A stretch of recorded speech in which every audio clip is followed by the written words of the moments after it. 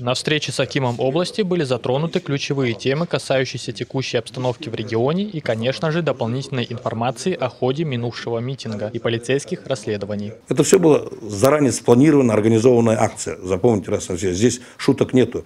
Сюда подвозили машину э, с камнями, чтобы кидали. Это все было зафиксировано, и вы это, наверное, видели. Э, просто так, что с улицы привезут камни кто-то? Нет, конечно. Сюда подвозили, вы знаете, продукты питания, много различных э, группировок, э, которые там, испытывали ту или иной интерес к свержению действующей государственной власти или конкретно меня. Поэтому в этом отношении э, следственная работа проводится. Водитель КАМАЗа, который привез сюда, он задержан.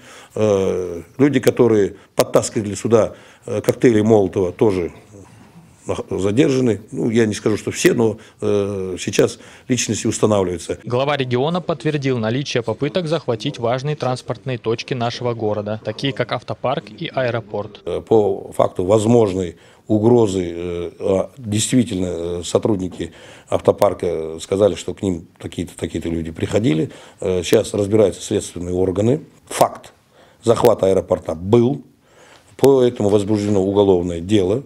Имейте в виду, во всем мире факт захвата аэропортов, железной дороги, магистралей, это считается как террористический акт.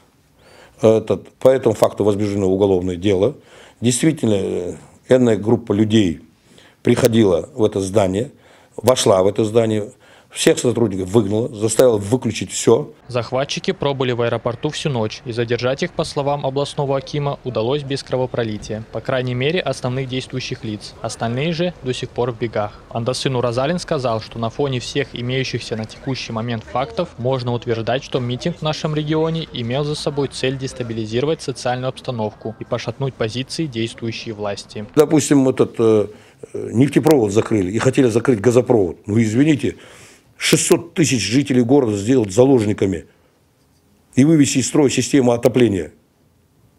Извините, это э, ну, не трудовой конфликт. Это уже сродни теракту. Или закрыли дорогу Храмтау-Ахтубе. А при чем тут тысячи-тысячи просто водителей э, КАМАЗов, э, этих э, большегрузных машин, автомобилей, которые ехали. По словам спикера, во время митингов демонстрантами были перекрыты и ЖД-пути, что остановило работу местного вокзала, где без возможности уехать осталось 700 человек. На встрече затронули также тему ущерба, нанесенного Акимату нашей области. Что именно похитили, да, и когда вообще восстановительная работа закончится? За, за чей счет? Да, и, да, за чей счет, и когда заработает Акимат, ограждение берут? К сожалению, сожалению, самому зданию нанесен определенный ущерб. Это выбиты были очень много стекол э, в окнах, э, вырваны с корнем двери. Я могу вам даже сказать, э, умудрились разграбить столовую. До последней ложки и вилки все вынесли оттуда. Ну, тоже говорит о, не знаю, определенном уровне культуры людей, которые принимали участие в этих бесчинствах. Предварительная сумма ущерба зданию оценивается в сотни миллионов тенге. Глава региона также отметил, что им было подано ходатайство руководству страны о снятии режима ЧП в ближайшие 1-2 дня, так как ситуация в регионе достаточно, по его мнению, стабильна. Рассказал он до сыну Розалин и о том, что каких-либо кадровых перестановок в аппарате облакимата после митингов не намечается. Мои подчиненные, они показали высокий уровень ответственности и не избежали. И э, они находились в том месте, где я их просил, а э, исполняли то, что я им поручал. То, э, что касается э, других низовых звеньев, ну, Асхат Берлешевич, он примет э, решение сам по своим кадрам. Он своим приказом освободил руководителя Актобесу Energy э, за противоправные действия. Он находился здесь, на площади. Ну, вместо того, чтобы так сказать, заниматься обеспечением жизнедеятельности нашего города, бесперебойной подачи э, воды, тепла и работы канализации, он э, оказался по ту сторону баррикад. Спикер встречи заверил, что основные требования митинговавших в нашем городе начали удовлетворяться. Например, цены на социально значимые товары по поручению президента будут строго фиксироваться, а ряд предприятий начал поднимать уровень зарплат своим сотрудникам. Я считаю, что требования по повышению заработной платы – они были вполне обоснованные. И, к счастью, многие предприятия, все-таки осознав э, ну, всю глубину проблемы, которая возникла, они подняли заработную плату.